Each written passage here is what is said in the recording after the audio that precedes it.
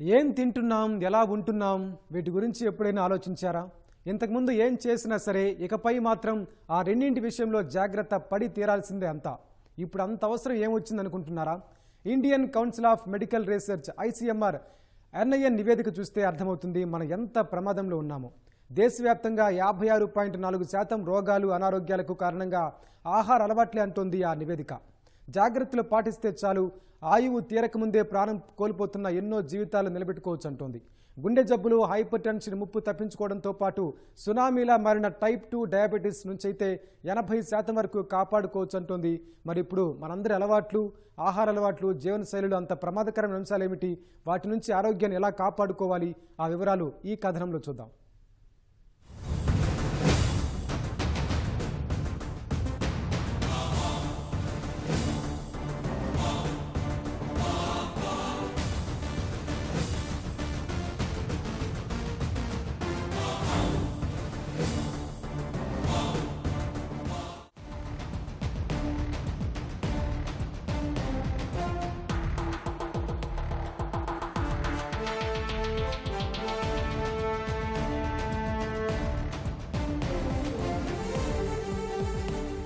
ఏడాదికి పదిహేడు లక్షల మంది.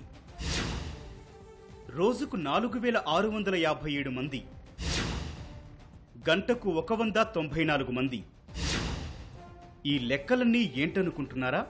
దేశంలో సరిలేని దారి తప్పిన ఆహారపు అలవాట్లు చేస్తున్న చేటు మోగిస్తోన్న మరణ మృదంగానికి సాక్ష్యం.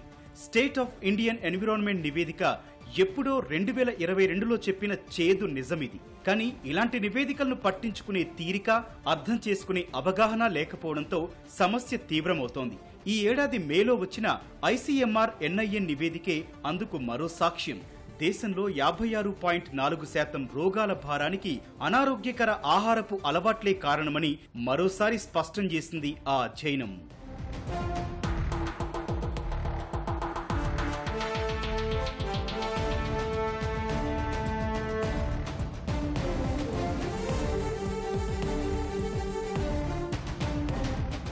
కొన్ని దశాబ్దాలుగా భారతదేశ వ్యాప్తంగా ఆహారపు అలవాట్లలో గణనీయమైన మార్పులొచ్చాయి. సామాజిక ఆర్థిక స్థితిగతుల్లో ఎంతో వ్యత్యాసం చూస్తున్నాం. దీనికి మరో కోణమే ఆహారపు అలవాట్లలోనూ మార్పులు. ఫలితంగానే భోజనం ప్లేట్లో స్థానిక సంప్రదాయ పదార్థాల స్థానాన్ని అల్ట్రా ప్రాసెస్డ్ ప్యాకేజ్డ్ ఫుడ్ ఆక్రమించడం పెరిగింది. దీనికి ఆ రాష్ట్రం ఈ రాష్ట్రం అన్న తేడా లేదు. రెండు దశాబ్దాల క్రితానికి ఇప్పటికీ పోల్చిన ప్రజల జీవన శైలి ఆహారపు అలవాట్లలో ఎంతో మార్పు కనిపిస్తోంది. ఇదే సమయంలో ఊబకాయం మధుమేహం గుండె సంబంధ సమస్యలు వంటి అనారోగ్యాలకు ప్రపంచంలోనే భారత్ కేంద్ర బిందువుగా మారుతోంది.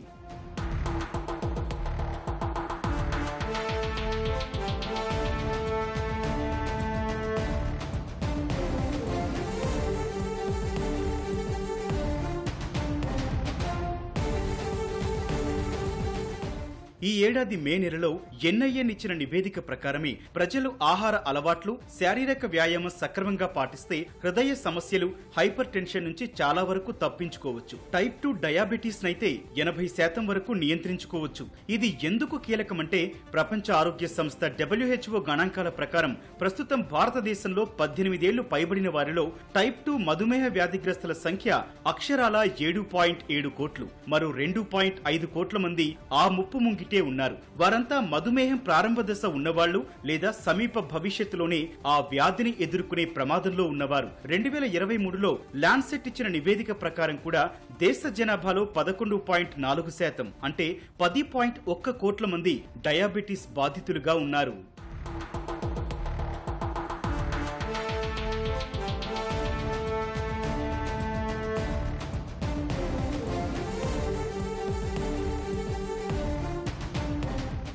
మరో ఆందోళనకరమైన అంశం ఏంటంటే డయాబెటీస్ బాధితుల్లో యాభై శాతం మందికి పైగా వారు ఏ పరిస్థితుల్లో ఉన్నారో కూడా తెలియడం లేదు. అలా ప్రాథమిక దశలో పరీక్షలు వ్యాధి నిర్ధారణ ఆలస్యం కావడం వారిని మరిన్ని ఆరోగ్య సమస్యల్లోకి నెడుతోంది.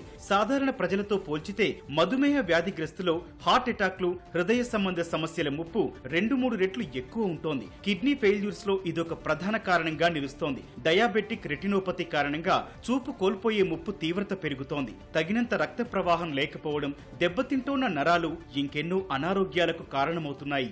జనాభా ఎక్కువైంది కానీ ఫైనాన్షియల్ పొజిషన్ పెరుగుతున్నా కూడా ప్రజలకు అవగాహన లేకపోవటం వల్ల ఆహార పదార్థాలలో ఎక్కువ అంటే ఆల్మోస్ట్ పిండి పదార్థాలు carbohydrates seventy to eighty percent తీసుకోవటం వల్ల ఆధునిక లైఫ్ స్టైల్ డిసీజెస్ దగ్గర దగ్గర సుమారుగా అరవై రకాల వ్యాధులు వస్తున్నాయి.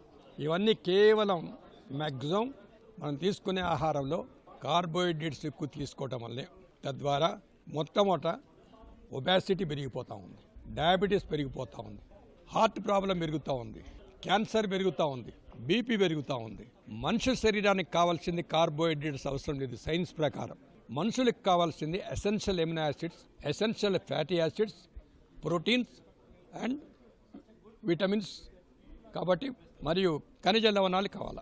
ప్రపంచ ప్రఖ్యాత వైద్య పరిశోధన పత్రాల జర్నల్ లాన్సెట్లో గతంలో ప్రచురితమైన ఒక అధ్యయనం ప్రకారం ఆహార సంబంధ కారణాలతో వచ్చే మరణాల్లో భారత్ ప్రపంచంలోనే రెండవ స్థానంలో ఉంది. మనకంటే చైనా ఓ మెట్టు పైనుంది. ప్రపంచ ఆరోగ్య సంస్థ అధ్యయనాలు అదే విషయాన్ని ధృవీకరించాయి. అయితే బియ్యం లేదంటే గోధుమలు. భోజనం ప్లేట్లో సింహభాగం వీటిదే.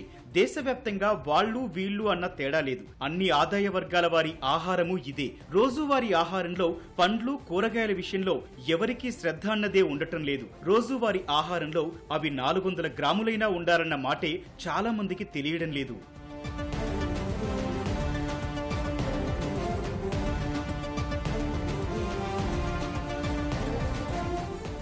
దేశవ్యాప్తంగా యువత ఉద్యోగ వ్యాపారాల్లోని వారిలో ఈ సమస్య మరింత ఎక్కువగా ఉంది. National sample survey office NSSO గణాంకాల ప్రకారం కూడా వారి రోజువారీ ఆహారంలో పండ్లు కూరగాయల వాటా సగటున తొమ్మిది శాతం దాటడం లేదు. ముందు తరాల వారితో పోల్చితే బయట తినేవారి సంఖ్య పెరుగుతోంది. వారి అభిరుచులు మారుతున్నాయి. చాలా మంది చవక అనారోగ్యకరమైన ఎంపికల వైపు మళ్ళుతుండటంతో ఆరోగ్యాలు కుప్పకూరుతున్నాయి. షవర్మాలు మసాలా దోశలు పానీపూరి నూడిల్స్ జీరా రైస్ గ్రేవీలు ఇడ్లీ ఇడ్లీలు వీటితోనే జీవితాలు తెల్లారిపోతున్నాయి.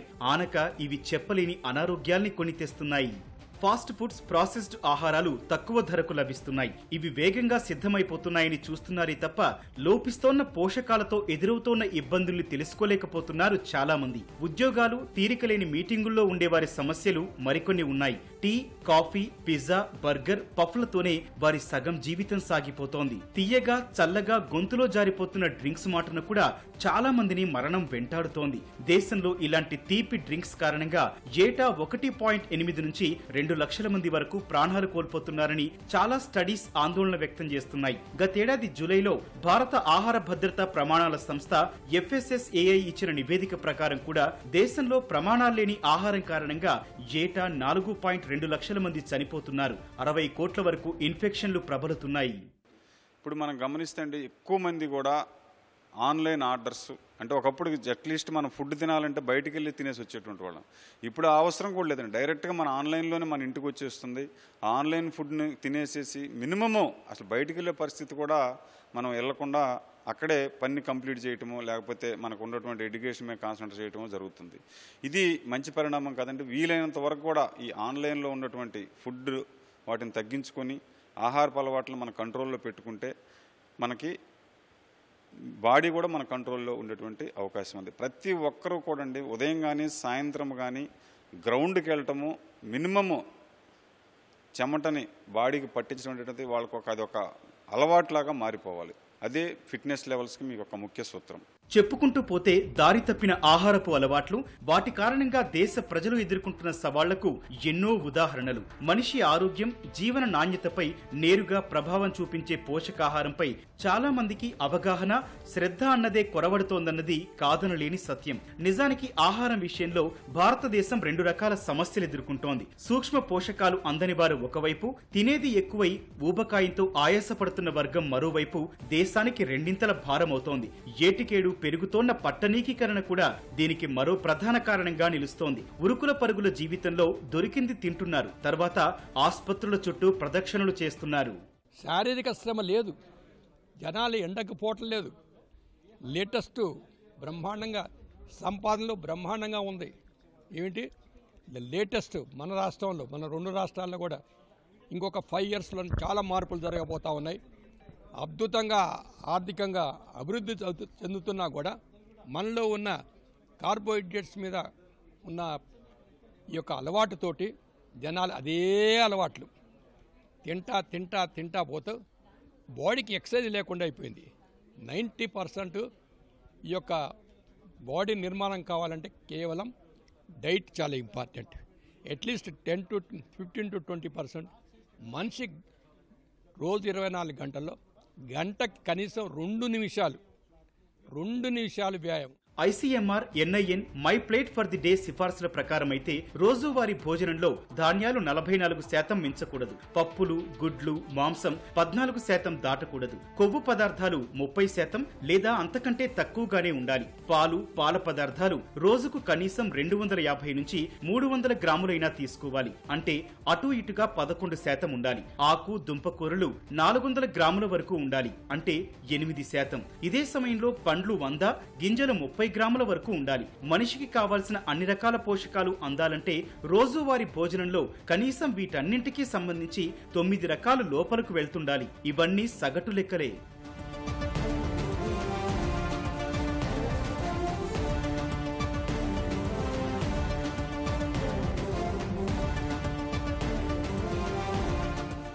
అది ఐసీఎంఆర్ ఎన్ఐఎన్ అయినా ప్రపంచ ఆరోగ్య సంస్థ అయినా చెబుతున్న మాట ఒక్కటే. దేశం మొత్తం ఆహార ధాన్యాలను నిర్దేశించిన మోతాదుల కంటే ఎక్కువగా పప్పు దినుసులు పాలు గింజలు కూరగాయలు పండ్లు పచ్చని ఆకుకూరలు చాలా తక్కువగా తీసుకుంటున్నారు. అన్ని రకాల పోషకాహార సమస్యలు నివారించి ఆరోగ్యంగా ఉండాలన్నా సుస్థిరాభివృద్ధి లక్ష్యాలు చేరుకోవాలన్నా దీర్ఘకాలిక రోగాల భారం తగ్గాలన్నా ఈ పరిస్థితులు మారాలి. ప్రజలందరిలో ఈ విషయంలో అవగాహన పెంచి అవకాశం అందుబాటు మేరకు ఆరోగ్యకరమైన ఆహారపు అలవాట్ల వైపు మళ్ళించాలి. భోజనంలో సాధ్యమైన వైవిధ్యమైన పదార్థాలతో పాటు స్థానిక ఆరోగ్యకరమైన ఆహారాలకు చోటు కల్పించాలి. ఆరోగ్యకరమైన ఆహారంతో పాటు కావలసినంత శారీరక శ్రమ కూడా జత కావాలి. అప్పుడు మాత్రమే ఆయాసం అకాల మరణాలు దాటి ప్రశాంతమైన నాణ్యమైన జీవితాలను కొనసాగించగలరనే సందేశం అందరికీ చేరాలి.